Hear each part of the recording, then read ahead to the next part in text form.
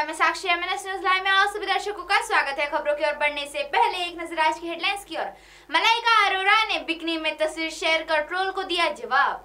मेरा सपना साकार हो गया। आईआईएम अहमदाबाद में अपने बेटे का दाखिला होने पर ड्राइवर अगर मैं सिद्धू होती तो मेरी फ़ीस डबल हो जाती। कपिल शर्मा शो पर अर्चना पूरन सिंह। अब खबरें विस्तार से। मलाइका अरोरा ने बिकनी में तस्वीर शेयर कर ट्रोल को दिया करारा जवाब। कहा, मुझे बख्श दे। टेलीविज़न शो होस्ट और एक्ट्रेस मलाइका अरोरा ने बिकनी में एक तस्वीर शेयर कर ट्रोल्स को जवाब दिया है। मलाइका ने इंस्टाग्राम पर लिखा, खुश रहना एक चॉइस है। और मैंने खुश रहना चुना है। मेरा मानना है कि खुशी मुझ पर जचती है। उन्होंने लिखा, इसलिए अपनी राय और नकारात्मकता अपने पास रखे और अपनी बकवास से मुझे बख्श दे।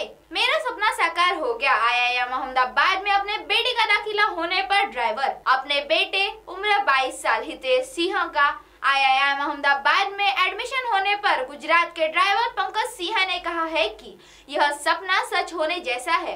हितेश को संस्थान में दो साल के post graduate programme food and agri business management में दाखिला मिला है। पंकज फ़िलहाल Gujarat cooperative milk marketing federation limited Amul में मैनेजिंग डायरेक्टर के ड्राइवर है। अगर मैं सिद्धू होती तो मेरी फ़ीस डबल हो जाती।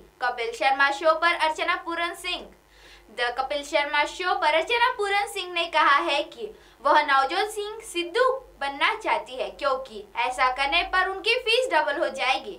दरअसल शो में कपिल ने उनसे पूछा था कि अगर उन्हें इच्छाधारी नागिन बनने का मौका मिले तो वह किसका रूप बदलेगी? शो में नागिन की एक्ट्रेस मोनी रॉय भी उस वक्त शामिल थी।